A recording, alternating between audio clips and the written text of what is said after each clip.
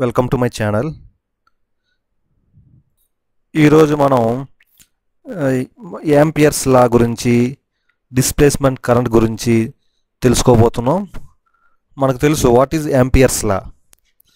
What is Ampere's law అంటే suppose ఒక conductor మీరు తీసుకోండి. ఆ కండక్టర్ ద్వారా చూడండి సపోజ్ ఇది కండక్టర్ అనుకుంటే దీని నుంచి కరెంట్ ఐ అనేది పాస్ అవుతుంది అనుకోండి. దీని నుంచి కరెంట్ ఐ అనేది పాస్ అవుతే అకార్డింగ్ టు యాంపియర్స్లా మనకి దీని చుట్టూ సర్క్యులర్ షేప్లో ఒక మ్యాగ్నెటిక్ ఫీల్డ్ అనేది డెవలప్ అవుతుంది. That is called Ampere's law అంటే నా ఉద్దేశం సపోజ్ మనం ఒక మ్యాగ్నెటిక్ ఫీల్డ్ డెవలప్ అవ్వాలి అంటే ఖచ్చితంగా కరెంట్ అనేది ఎగ్జిస్ట్ అవ్వాలి. Without current without current suppose ఇక్కడ కరెంట్ అయ్యి అనుకున్నాం కదా. ఈ కరెంట్ లేదనుకోండి దీని చుట్టూ మ్యాగ్నెటిక్ ఫీల్డ్ అనేది ఎగ్జిస్ట్ కాదు. సో కంపల్సరీగా కరెంట్ ఉంటేనే దాని చుట్టూత in terms of circles in terms of some circles there will be some magnetic field as shown figure చూశారు కదా ఫ్రెండ్స్ ఇలాగా కరెంట్ చుట్టూ మనకి మ్యాగ్నెటిక్ ఫీల్డ్ డెవలప్ అవుతుంది. ఇది యాంపియర్స్ల యొక్క ఉద్దేశం. అయితే ఇప్పుడు మనం చూసుకుంటే దీనికి మ్యాథమెటికల్గా ప్రూవ్ చేద్దాం. ఎలాగంటే మ్యాథమెటికల్గా యాంపియర్స్లో చూడండి వాడే ఇచ్చాడు. ఇక్కడ కరెంట్ ఇచ్చారు కదా. సపోజ్ మనం ఇక్కడ కరెంట్ ఐ బదులు జీరో పెట్టాం అనుకోండి ఐ ఈక్వల్ టు జీరో ఇచ్చాం అనుకోండి ఏమవుతుంది sir?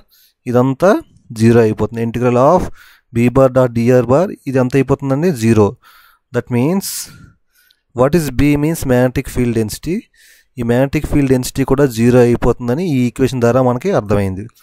Whenever current equal to zero దీన్ని ఇంకోలా కూడా చెప్పచ్చు. మనం ఎప్పుడైనా సరే ఒక మ్యాగ్నెటిక్ ఫీల్డ్ లైన్స్లు అన్నీ తీసుకుంటే sum of all integration of all magnetic field lines అనేది తీసుకుంటే డజన్ దాన్ని ఇంటిగ్రేట్ చేస్తే మనకి ఏమొస్తుంది ఆటోమేటికల్గా కరెంట్ దాని గుండా ఎంత అయితే పాస్ అవుతుందో అది మనకి కనిపిస్తుందని యాంపియర్ అనేవాడు చెప్పాడు. ఓకే ఫ్రెండ్స్ ఇది బాగానే ఉంది. కానీ ఎప్పుడైతే మనం ఒక డైఎలక్ట్రిక్ తీసుకున్నాం అనుకోండి సపోజ్ ఇక్కడ ఆర్సి సర్క్యూట్ ఉంది. ఆర్లో మెటల్స్ మెటల్ ఉంటుంది. మెటల్ కానీ ఇది ఉంటుంది. దానివల్ల ప్రాబ్లం లేదు. ఆర్ గుండా కరెంట్ పాస్ అవుతుంది. కానీ కెపాసిటర్ మధ్యలో ఏముంటుందండి? కెపాసిటర్ మధ్యలో మనకి ఇన్సులేటింగ్ మెటీరియల్ ఉంటుంది. ఓకేనా? ఈ ఇన్సులేటింగ్ మెటీరియల్ వల్ల మనకి మీకు తెలుసు ఇన్సులేటింగ్ మెటీరియల్ మధ్యలో కరెంట్ పాస్ అవ్వదు. యాంపియర్ ఏం చేశాడు మ్యాక్స్వెల్ ఏం చేశాడంటే ఇలా ఉంది కదా ఇక కరెంట్ పాస్ అవుతున్నప్పుడు ఇక్కడ మ్యాగ్నెటిక్ ఫీల్డ్ పెట్టాడు. ఇక్కడ మనకి డిఫ్లెక్షన్ వచ్చింది. ఓకే కెపాసిటర్ తీసుకున్నాడు. కెపాసిటర్లో కూడా ఒక మ్యా నీడిల్ పెట్టండి. నీడిల్ పెడితే ఆ నీడిల్ కూడా డిఫ్లెక్ట్ అయ్యింది. అయితే మనకు తెలుసు కరెంట్ లేకుండా మ్యాగ్నెటిక్ ఫీల్డ్ అనేది ఎగ్జిస్ట్ కాదు. ఇదేమో ఇక్కడ అసలు కండక్టర్స్ లేవు. ఇక్కడ కనీసం ఫుల్ ఫ్రీ స్పేస్ ఏమని అనుకోవచ్చు ఇక్కడ no electrons no charges okay అయినా కూడా మ్యాగ్నెటిక్ ఫీల్డ్ అనేది ఎగ్జిస్ట్ అయ్యింది. ఎందుకంటే నీడిల్ అనేది మూవ్ అవుతుంది అనమాట నీడిల్ అనేది ఫోర్స్ మ్యాగ్నెటిక్ ఫోర్స్ అనేది ఎక్స్పీరియన్స్ అవుతుంది. అప్పుడు మ్యాక్స్వెల్కి డౌట్ వచ్చింది.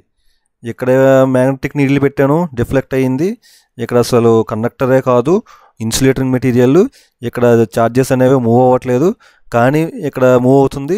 ఇక్కడ కూడా మూవ్ అవుతుంది మ్యాగ్నెటిక్ నీడిల్ ఇది ఎలాగబ్బా అని మ్యాక్స్వెల్ ఆలోచించాడు. అప్పటికి మ్యాక్స్వెల్కి అర్థమైంది ఏంటంటే ఇక్కడ కూడా ఇక్కడ ఛార్జెస్ మూవ్ అవడం వల్ల కరెంట్ ప్రొడ్యూస్ అవుతుంది. కరెంట్ ప్రొడ్యూస్ అవ్వడం వల్ల మ్యాగ్నెటిక్ ఫీల్డ్ డెవలప్ అవుతుంది. ఇక్కడ ఛార్జెస్ అనేది ఆస్కారమే లేదు. కానీ నీడిల్ డిఫ్లెక్ట్ అవుతుంది. అంటే ఇక్కడ కూడా సంహో ఆధార్ కరెంట్ అనేది పాస్ అవుతుంది. కరెంట్ పాస్ అయితేనే కదా. ఇక్కడ ఈక్వేషన్ చూడండి. ఇక్కడ కరెంట్ జీరో అయిపోయింది అనుకోండి మ్యాగ్నెటిక్ ఫీల్డ్ జీరో అయిపోతుంది. సపోజ్ ఈ కరెంట్ జీరో అయిపోతే మ్యాగ్నెటిక్ ఫీల్డ్ జీరో అవుతుంది. అలా కాకుండా కరెంట్ ఎగ్జిస్ట్ అయింది అనుకోండి అప్పుడు మాత్రమే మ్యాగ్నెటిక్ ఫీల్డ్ ఎగ్జిస్ట్ అయింది. అంటే మ్యాగ్నెటిక్ ఫీల్డ్ ఉందనుకోండి ఖచ్చితంగా అక్కడ కరెంట్ ఉందని దాని మీనింగ్. అంటే మీ కెపాసిటర్లో కానీ ఏవైనా సమ్ ఇన్సులేటింగ్ మెటీరియల్స్లో కానీ current pass అవ్వగలదు without requirement of any moment of electrons or charges అని మ్యాక్స్వెల్ తెలుసుకున్నాడు. దాన్నే ఏం చెప్పాడు అంటే డిస్ప్లేస్మెంట్ కరెంట్. అంటే కరెంట్ అనేది ఫ్రీ ఎలక్ట్రాన్స్ వల్ల ట్రావెల్ కాదు. జస్ట్ కరెంట్ అనేది డిస్ప్లే అవుతుంది డిస్ప్లేస్మెంట్ అవుతుంది ఫ్రంట్కి. ఫ్రంట్కి డిస్ప్లేస్ అవుతుంది. అయితే ఎప్పుడు ఎలా అవుతుందని గమనించాడంటే whenever there is an change in electric field ఇక్కడ డీసీ బదులు సైనిసాయిడల్ వోల్టేజ్ జనరేట్ పెట్టినప్పుడు మాత్రమే ఇక్కడ ఏమవుతుందంటే ఫస్ట్ పా పాజిటివ్ సైకిల్కి ఇక్కడ పాజిటివ్ ఇక్కడ నెగిటివ్ వస్తుంది. నెక్స్ట్ పాజిటివ్ సైకిల్కి ఇక్కడ నెగిటివ్ ఇక్కడ పాజిటివ్ వస్తుంది. అలాగా మారుతూ ఉంటుంది. ఏసీ అంటే వేరియింగే కదా. ఫ్రీక్వెన్సీ మారుతూ ఉంటుందో అప్పుడు there will be some change in electric field ఇక్కడ ఈ బార్ అనుకుంటే విత్ రెస్పెక్ట్ టు టైమే కదా మారేది ఏసీ వోల్టేజ్ అనేది. దాన్ని ఏమంటాం? Change in electric field that is call do E by do T that means what is do T means time variation do E means electric field variation ఎప్పుడైతే electric field vary అవుతుందో దానివల్ల మనకి current అనేది pass అవుతుంది. So Maxwell ఏమనుకున్నాడంటే ఇక్కడ current అనేది I equal to displacement current ఒకటి conduction current IC plus ID అంటే ఇక్కడ ఐసీ అనేది ఐసీ ఈక్వల్ టు ఐడి కూడా. ఎందుకంటే ఇక్కడ ఐసీ ఉన్నప్పుడేమో కండక్షన్ కరెంట్ ఉన్నప్పుడేమో డిస్ప్లేస్మెంట్ కరెంట్ జీరో ఇక్కడ డిస్ప్లేస్మెంట్ కరెంట్ ఉన్నప్పుడేమో conduction current zero so both ఒకే దగ్గర ఎగ్జిస్ట్ కాదు. ఇది ఐసీ ఉన్నప్పుడేమో ఐడి ఉండదు ఐడి ఉన్నప్పుడేమో ఐసీ ఉండదు. So total current I equal to conduction current plus displacement current అప్పుడు మనకి యాంపియర్స్ లా అనేది మొత్తానికి సూటబుల్ అయ్యింది. చూసారా?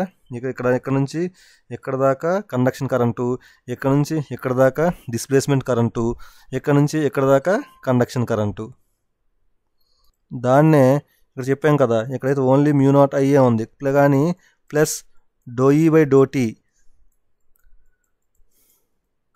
add చేసాం అనుకోండి దిస్ ఈక్వేషన్ కంప్లీట్స్ దాన్నే ఇలా రాసేది చూసాను integration of B bar dot dR equal to mu naught I plus mu naught epsilon naught d phi E by dt చూడండి ఫ్రెండ్స్ ఇక్కడ d phi E by dt దీని ఏమైనా epsilon naught equal displacement current that means changing of changing of electric field with respect to time is called displacement current అంతే కదా?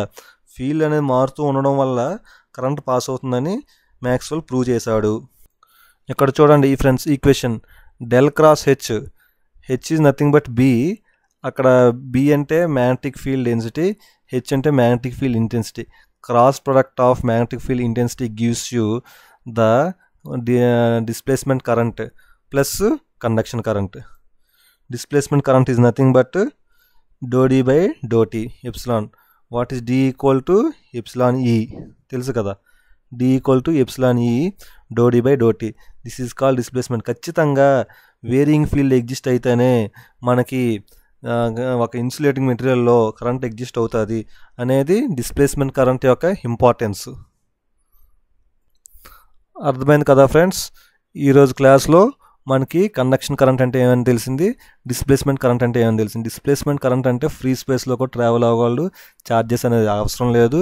Wearing electric field exist అయితే చాలు. Do E by do T parameter use చేసుకొని మనకి displacement current అనేది ఈ యూనివర్స్లో exist అవుతుందని మ్యాక్స్వెల్ ప్రూవ్ చేశాడు. Thank you friends